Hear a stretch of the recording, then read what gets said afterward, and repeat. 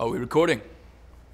Regular Joe here. We're making a short film that's gonna go in our episode regarding trash that was written by Rian Johnson, known on the site as RC Johnso. He's the writer and director of the movies I was in, Looper and Brick. He wrote this really great piece that pertains to the theme of trash that's written from the point of view of a shoe that's been thrown away, but ends up feeling like a quite pertinent rumination on getting dumped, but always with a sense of humor. And this is a request for filmmakers, shooters, as well as cutters. I put out a request before for people to do voiceover of this piece of writing. We got lots of great contributions. One in particular stood out to me from a guy named F.70 fuck. What is it?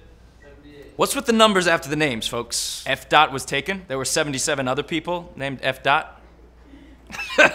no, uh, in all seriousness, F.78 did a really, really good performance of this piece, and he uploaded three different takes. I have cut together those three different takes into one edit, an audio record that I think is playing really, really great. That will make a good bass layer for this short film. You're gonna roll your eyes when I say this, but I spent the best part of my soul on you. So next we're going to need visuals that go on top of it and eventually we will need music. So again, this is a request for filmmakers, shooters, as well as cutters. I see this as a sort of montage, but it's not a completely disassociative montage like Flickering Lights, for example, because there is a story here, there's a narrative. I don't think we need to see the same shoe in every shot of the film. I think if we see lots of different people's shoes in different contexts, that'll work fine. But just listen to the voiceover that's been done and find the lines, find the moments that inspire you to either shoot something or go on the site and find something that someone else has shot. We have tons of video footage on Hit Record and start cutting these pieces together with the voiceover to create a short film. So check out the request list that's on the left side of the collaboration page. Those are all the lines that are going to make up